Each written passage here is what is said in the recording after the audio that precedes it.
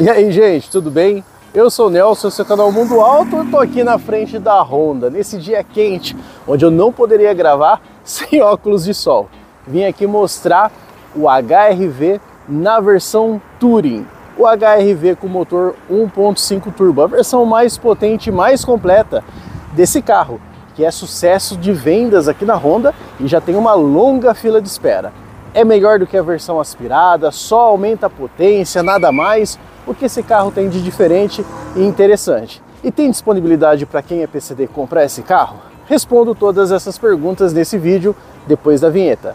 Já convidando a deixar o seu joinha, se inscrever no canal e acompanhar esse vídeo completo.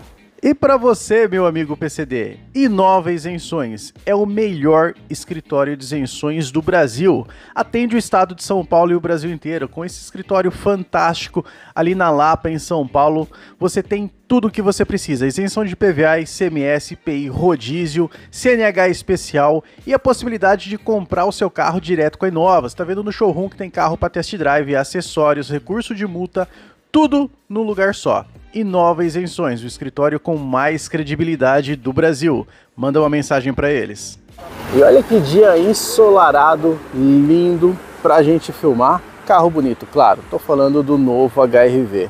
O que, que esse carro muda né, da sua versão aspirada EX e EXL? Estou falando da versão Touring a mais completa e a gente já começa mostrando não só a frente, mas essa cor branco perolizado aqui no sol fica maravilhoso. É quem gosta de, de, fazer manutenção de carro, na hora de fazer a pintura, fala que é um, uma caca para você acertar o tom, mas é bonito. Faróis Full LED com o DRL. A gente já tinha na outra versão. O que vai mudar basicamente é que aqui, ó, a grade frontal tem essas gominhos e não de risco, né? Com uma, uma barrinha longitudinal aqui que tem nas versões aspiradas. É uma grade um pouco mais esportiva.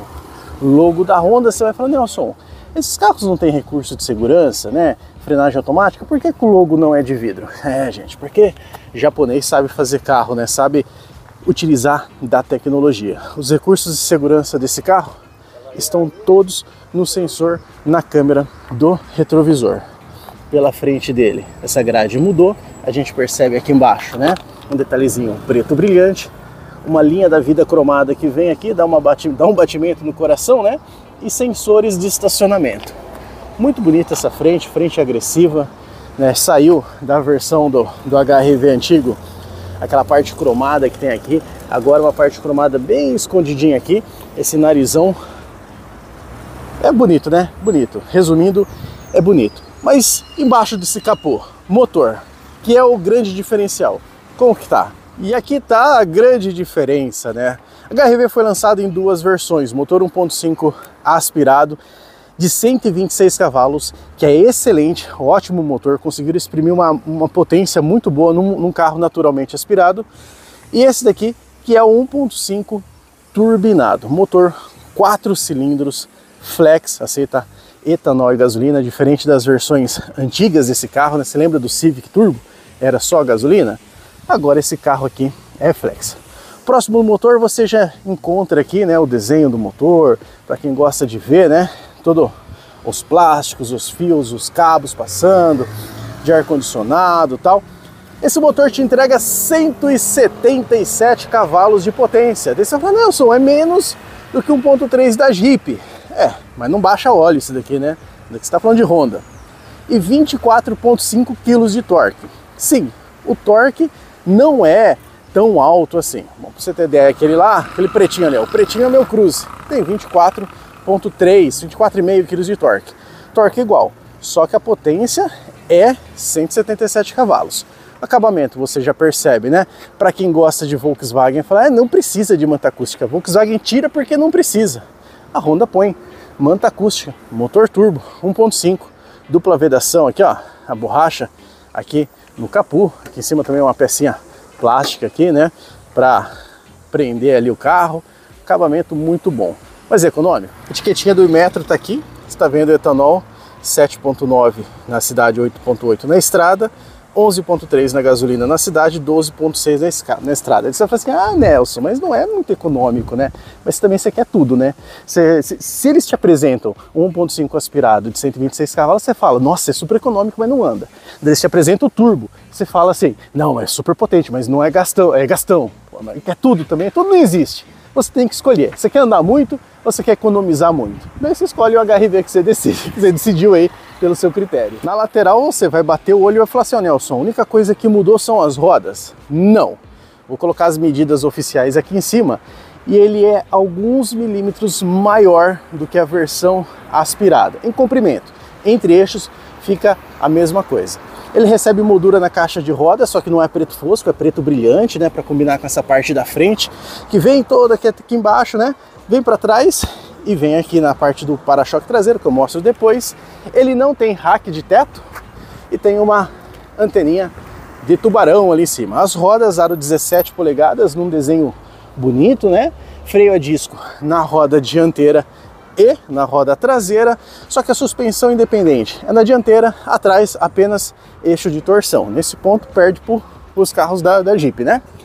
Retrovisor aqui com repetidor de seta, quando a gente olha aqui pelo lado de dentro, não tem nenhuma informação de alerta de ponto cego. É um retrovisor que ele dobra sozinho, né? Quando você vem aqui pega a chave, ó, aperta aqui, é, ele trava e dobra sozinho. Também ah, tem partida remota aqui, né? Na chave já mostrando para vocês. Chave é do tipo presencial, com o sensorzinho aqui em cima. Como sempre, na maçaneta traseira, a abertura é por aqui. Do lado do motorista, a gente encontra a abertura do tanque de combustíveis eu gosto da lateral desse carro. Hein? E olha só, uma das coisas que mais chama atenção nesse carro aqui é a parte traseira, né? Mudou bastante do HRV do modelo antigo. Ficou mais arrojada. Na versão Touring, ele recebe essa máscara negra aqui, né? Na lanterna traseira, a iluminação é Full LED, como você vê. Essa barra atravessa de um lado ao outro, é tudo aquilo que as traseiras do Volkswagen queriam ser, mas não é, né? Detalhes aqui em LED nos pingos do freio. Na traseira, você também tem algumas coisas que não tem das outras versões, como por exemplo, a inscrição turbo aqui, porque ele já mostra que é o carro turbinado. Não fala de versão se é Touring, se não é, só que é turbo. Outra coisa que está diferente, essa parte de baixo do para-choques, agora está preto brilhante. Tem sensor de estacionamento, câmera de ré e uma dupla saída de escapamento de verdade, não é nada estético. É uma dupla saída de escapamento. A abertura do porta-malas é eletrônica, pode ser feita com a mão lá dentro ou na chave. Quando você aperta aqui, ó, ele já abre eletronicamente, isso que a gente gosta, né? Esse tipo de luxo que é bacana. E tem alguns recursos interessantes aqui. Primeiro, o porta-malas tem 354 litros, carpetado, ele tem dupla iluminação em LED aqui embaixo. O step do tipo provisório, o tapete está aqui dentro também. Esse carro aqui é o carro de test drive. Tem o top tagger, você consegue baixar também se você quiser aqui, ó, a redinha. Ok. E através daquelas alavancas ali, deitar os bancos, que é 40 e 60, e o banco eu vou falar depois. Aqui, ó, você consegue apertar e baixar o porta-malas já se você quiser. E aqui ele tem um sensor que você clicando aqui, ó, eu tô aqui embaixo do porta-malas. Ele não vai baixar, tá bom? Apertei. Mas assim que eu me distancio, o sensor percebe que eu não estou mais próximo do porta-malas e baixa o porta-malas sozinho. Isso é bacana, se você está com a mão ocupada, não vai conseguir apertar o botão, mão cheia de sacola, aperta ali antes, pega a sacola, sai de perto, que ele fecha sozinho e é um recurso muito, muito útil. A parte traseira desse carro também é bem legal, sabe por quê? Porque normalmente as montadoras não dão muita bola para quem vem atrás.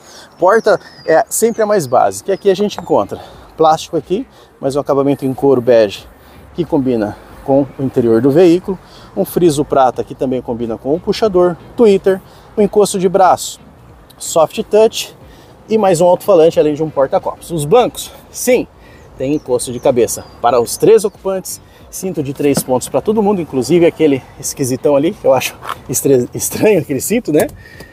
Porta-copos tem aqui também, e ele é feito para três pessoas. Só que repara isso daqui, um calombinho aqui, né? Na verdade, esse carro aqui é 2 mais 2. Cabe um terceiro? Cabe, mas não é muito confortável não. Túnel central quase não existe, baixinho. Saída de ar-condicionado para quem vem atrás e duas tomadas USB para alimentar o smartphone de quem vem atrás aqui também. Revisteiro, nós temos porta celular aqui, ó, para você colocar seu celular nós temos também alça de teto, tem também. Ah, esse cinto aqui, ó, se você quiser, você pode soltar ele daqui, ele não precisa ficar aqui. Então ele recolhe se você não vai ter o terceiro passageiro. Luz em LED para quem vem atrás? Também tem, mas lá na frente. O que, que a gente tem, Nelson? O T-Cross está passando ali, ó. Ele está chorando de inveja do acabamento desse carro aqui, ó. Olha a porta. Soft touch. Muito macio aqui. Acabamento muito bom da Honda. Essa parte toda aqui em couro bege, combinando com o interior do carro. Puxador prata com friso aqui prata também para combinar. Couro macio aqui no cotovelo para não machucar seu precioso cotovelo. Botãozinho para você abrir os vidros para você rebater o retrovisor. Tem também trava das portas, trava do retrovisor, tudo aqui na sua mão a seu alcance. Ajuste do banco, olha só, eletrônico, né? Essa versão aqui tem. Também ajuste da lombar. Tem aqui o banco todo furadinho, bonito nesse couro. Olha que desenho bonito de banco, né? Acomoda bem as costas. E entrando aqui, a gente encontra várias. Vou, vou entrar no carro, vou ligar o ar-condicionado porque tá quente. Hoje tá quente aqui em Americana. Então vou entrar, vamos já falar se o ar-condicionado é bom. Ó, a linha da vida aparecendo ali, ó. Vamos dar partida no carro? Motor turbo já tá roncando, mas não é isso que eu quero não, gente. Eu quero isso aqui, ó. Para todo mundo. Eu quero, eu quero nevar aqui dentro agora. Quero que neve, modo alto. Não, modo alto faz muito barulho. Vamos diminuir aqui. Vamos diminuir aqui tá ligado ao ar-condicionado. Ah, meu Deus do céu, era isso que eu queria. Não off, não on aqui. Vamos lá. Olha só que painel bonito, essa nova identidade da Honda, linha reta, né? Mais fácil visualização de tudo. Uma linha que quando apareceu eu falei, ah, eu não sei, eu gosto mais dos Hondas com cara de nave espacial. Mas essa me encantou também. O volante você já percebe aqui, né? Que tá bonito esse volante com esse detalhe preto black piano, né, que a gente encontra lá no para-choques, agora encontra aqui no volante também. Recurso de segurança, tem tudo, tudo aqui que você imagina tem. Vamos começar da esquerda para a direita, fatiando que esse carro tem. Bom, saidinha de ar-condicionado aqui, ó. Olha que maravilha esse arzinho gelado pegando em mim. Muito bacana. Ele tem uma saída aqui para o vidro, uma saída aqui em cima, uma saída de ar-condicionado, os botõezinhos aqui bem bacanas, né? Interessantíssimo. Vamos deixar só para mim. Aqui é uma parte de couro também, com friso prata. Recursos de segurança, tá? Aqui a gente já encontra, quando você aperta aqui, é para você ativar. Manutenção de faixa, tem também. Vamos ver qual mais recurso tem, ó. Alerta de permanência em faixa, frenagem automática de emergência. Tem esses dois recursos de segurança. Botãozinho aqui para você encontrar. Deixa eu dar um zoom ali, ó. Aí, botãozinho aqui do estacionamento, aqui para você abrir o seu porta-malas e aqui para você ativar e desativar o controle de estabilidade de tração fora altura do faixo do farol. Vamos abrir a câmera aqui agora de novo. Encontramos aqui para você ligar os seus faróis. Ele tem sensor crepuscular e também comutação automática de farol alto. Aquele que você dá o farol alto quando vem um carro de frente, ele diminui, tá? Então ele tem sensor. Outra coisa que ele tem aqui, ó, pedal shifts, tá? É câmbio CVT, Nelson? Não tem marcha? É um cone? É, mas tem pedal shift para você ser enganado, achar que você tá trocando marchas, né? A gente gosta muitas vezes de ser enganado, né? De sentir que tá trocando marchas. O painel dele é digital nessa parte aqui, ó, nessa parte aqui. Nessa outra parte aqui é um ponteiro analógico, assim mais ou menos como é no carro da Nissan, né? O Kicks também tem esse sistema. Aqui você controla o volume da multimídia, Desse lado, o, o, o som da multimídia. Você encontra aqui também, ó, recursinho aqui, que é o limitador de velocidade de cruzeiro. Você tem também o assistente, o ACC, não sei como que chama, cada marca tem um nome, mas tem também. E aqui também para você ativar e desativar os controles de permanência em faixa e frenagem automática de emergência. Airbag tem seis airbags esse carro aqui e claro, né, que teria ajuste de altura e profundidade. Você acha que esse carro aqui Touring não teria? Tem sim, tem ajuste de altura e profundidade. Botãozinho ali para luminosidade do painel, tem também. Tem também aqui iluminação? Tem iluminação aqui no retrovisor, do outro retrovisor também. Eu falei que ia fatiar, já, já pulei para lá. Limpador de para-brisa, sensor, ele tem sensor de chuva? Tem. No retrovisor, é o fotocrômico? Tem. Tem também câmera com sensores de segurança? Tem. Tem uma multimídia com TV de tubo? Isso aqui, isso aqui tem, tem também. Eu acho errado esse design aqui, né? A Toyota também saiu com essa, depois mudou, mas é o que tem. Multimídia de 8 polegadas, com Android Auto, Apple CarPlay, sem fio, Bluetooth, chupa Chevrolet, né? Tracker voltou a ter Bluetooth? Não sei, né? Mas aqui tem, tem Bluetooth também. Tem aqui o ar condicionado que você consegue mexer ele com o botão. Ah, nossa! Eu falei do, do, do, Nivus que tirou todos os botões, as pessoas falam assim: ah, mas ar digital não pode ter botão. Claro que pode ter botão. Aqui, ó, é ar digital e tem botão. Aliás, é um ar dual zone. Se a minha esposa tiver com frio, eu coloco fogo nela através do ar condicionado quente. Eu sempre tô com calor, né? Então sempre deixo gelado para mim. É dual zone. Uma saída USB, o pisca-alerta aqui então o ar-condicionado bem tranquilo, né? Aqui para você mexer, uma telinha digital, você desliga aqui, some tudo. É muito bom, muito bom aqui, ó. Bom, sumiu tudo, ó. Ligou, apareceu. Aqui embaixo, o que, que nós temos? Um porta-objetos e mais uma saída USB para alimentação. Aqui é para você transferir dados, né? Quero colocar um pendrive de música aqui. E aqui é um porta-objetos aqui para alimentação. Carregador de celular por indução, rápido, tem tem você consegue desligar ele por aqui, ó, ligar e desligar, ó, tá desligado. Coloquei meu celular, mas não quero carregar. Você ativa e desativa por aqui o carregador de celular por indução. O câmbio do tipo CVT, que você consegue trocar por aqui, né? Então, neutro, a ré, vamos ver a câmera de ré? Olha só, a câmera de ré com resolução, resolução estreita, estreita, menos estreita, panorâmica, vista de cima, é aquela lá, né? não, não, não, tem o 360? Não, não tem. Mas ele tem uma coisa que eu acho que é legal, ó. Você dá seta, olha só, ele me mostra a câmera do retrovisor do lado direito, muito bacana. Do lado esquerdo tem, Nelson? Não, não tem. Só do lado direito.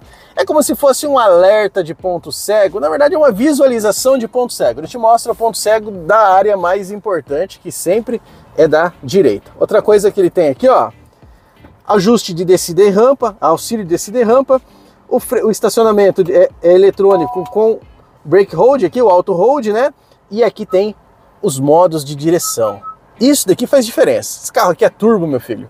Então quando você coloca no modo esporte aqui, ó, o modo é esporte, tá? Olha lá, modo normal, modo econômico. Lá já tem até uma muda, muda um pouquinho, né? Ó, econômico, modo normal, modo cidade, e o modo esporte, até um foguinho da roda ali, né? Esportivo, você consegue mudar através desse botãozinho aqui. Dois porta-copos, os bancos que eu já mostrei, couro, tem ajuste de altura aqui do cinto de segurança, coisa que eu acho fundamental. Como carro japonês, tem alça de teto para o passageiro e para o motorista. Tem também iluminação aqui, tem iluminação em LED, um alto-falante aqui que é um microfone, na verdade. O encosto de braço não corre para frente, mas ele abre. É curtinho, né? Tem muita coisa aqui não, só encosto de braço mesmo, mas é bem macio. Olha só, dá até para dormir isso aqui, parece um colchão. Desenho do carro é interessante, bom espaço interno, conforto interno. Sempre vai ter dentro desse carro aqui. Eu acho bem interessante que tenha. Pro lado de lá, pro lado de lá, de lá, de lá. Não sei se tem essa música aqui. O painel, ó, infelizmente, ele tem um soft touch aqui em cima, mas aqui é todo plástico, tá? Tem aqui essa parte frisada aqui com a saída de ar condicionado e couro em toda essa parte. Aqui embaixo, porta-luvas. Como diz meu filho, vamos ver se é o que cai ou o que abre devagar. É o que abre devagar e tem uma iluminaçãozinha. Não tem não, sem iluminação, achei que tinha. É o sol me enganando. Sem iluminação. Diz aí, meu querido, o que, que você achou desse painel? Olha só, hoje eu estou gravando em novembro, em 21 de novembro de 2022 esse carro. Vim conhecer, né? Vou fazer aquela sessão Conheça Comigo. Vim conhecer esse carro aqui. Gostei? Claro que eu gostei, adorei. E o preço? Hoje está aproximadamente 192 mangos, né? Tem política para PCD? Tem política para PCD. O preço certinho vou deixar na descrição do vídeo.